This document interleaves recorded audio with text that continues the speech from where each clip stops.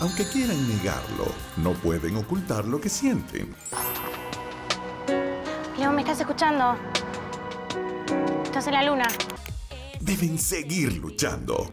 Chico, Francesca no se puede ir. Pilu, no hay nada que podamos hacer, es imposible. No me quiero ir.